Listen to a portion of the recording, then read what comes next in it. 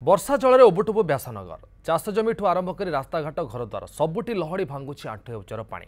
Drain ପାଣି ବର୍ଷା ପାଣି ସବୁ ଏକାକାର ଯାହାକି କୃତ୍ରିମ ବନ୍ୟାର ଭ୍ରମ ସୃଷ୍ଟି କରୁଛି।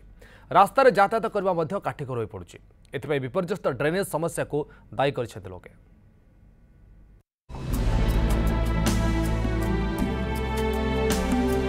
ପ୍ରବଳ ବର୍ଷାରେ ଯାଜପୁର ଜିଲ୍ଲା ବ୍ୟାସନଗର ସହରରେ ଜନଜୀବନ ଅସ୍ତବ୍ୟସ୍ତ।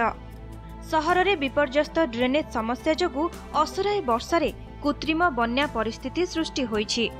ରାସ୍ତାଘାଟ ନାଳ ନର୍ଦ୍ଦମା ସବୁ ବର୍ଷା ଜଳରେ ପୂରି ଉଠିଛି। ଘର ଦ୍ୱାରରେ ପାଣି ପଶିଗଲାଣି। ରାସ୍ତାରେ ଆଣ୍ଠୁଏ ଲେଖାଏଁ ପାଣି ଜମି ରହିବା ଫଳରେ ଯାତାୟାତରେ ନାନା ଅସୁବିଧା ଭୋଗୁଛନ୍ତି ସହରବାସୀ। নগরপালিকার অধিকাংশ ওয়ার্ডে প্রায় এভাবে অবস্থা সৃষ্টি হয়েছে এথিপাই প্রশাসনকে দায়ী করেছেন সহরবাসী স্থিতি এপরি হয়েছে যে ছাত্রছাত্রী স্কুল যাইপারু না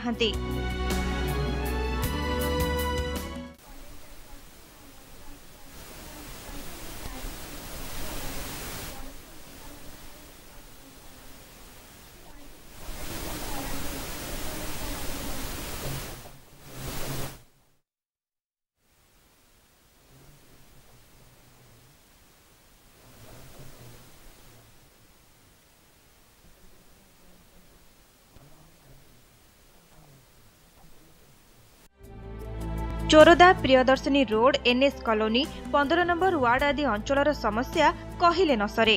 ଧର୍ମକୁ ଆଖିଠାର ପରି ସହରର ଟାଉନ୍ ପ୍ଲାନିଂ ଅଥରିଟି ଭାବେ ପରିଚିତ କେଏନ୍ଡିଏ ସଂସ୍ଥା ମନ ଇଚ୍ଛା ପ୍ଲାନ୍ରେ ଗଢ଼ି ଚାଲିଛି ମାଳମାଳ କୋଠା। ଏଥିପାଇଁ ପୌର କର୍ତ୍ତୃପକ୍ଷଙ୍କ ସହ କେଏନ୍ଡିଏ କର୍ତ୍ତୃପକ୍ଷଙ୍କୁ ଦାୟୀ କରିଛନ୍ତି ସହରବାସୀ। ସେପଟେ ପୌର କାର୍ଯ୍ୟନିର୍ବାହୀ ଅଧିକାରୀ ଏହି ସମସ୍ୟାକୁ ସ୍ୱୀକାର କରୁଛନ୍ତି।